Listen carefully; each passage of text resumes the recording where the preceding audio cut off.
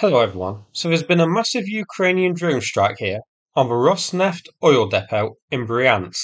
This is in the town of Klintsy. And check the damage here as you can see in the video. This is a massive fire. At least four oil tanks are seen as destroyed by this strike, one of them completely destroyed.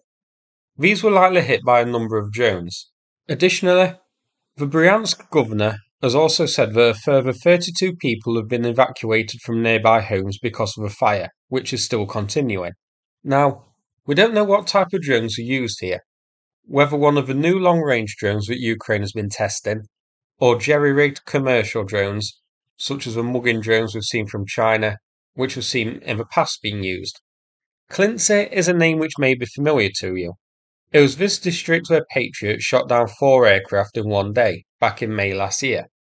This same oil depot was also hit in May last year, but the damage that time was very minor. This time though, as you can see in the video, the damage is pretty severe. So this oil depot clearly took a number of drones.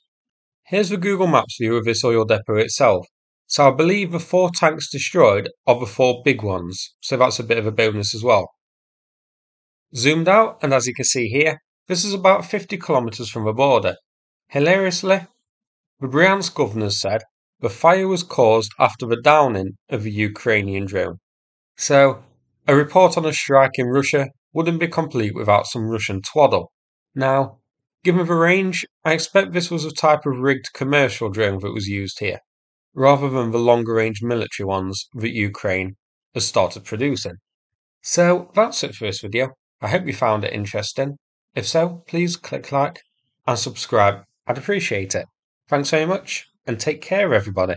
Now, before we finish, a short fundraiser here for Yegor from Ukraine's 3rd Assault Brigade. We did a couple of fundraisers for him last year to replace damaged spotter drones. Now he's requested some funds to help with FPV drone training so his unit can operate these drones better.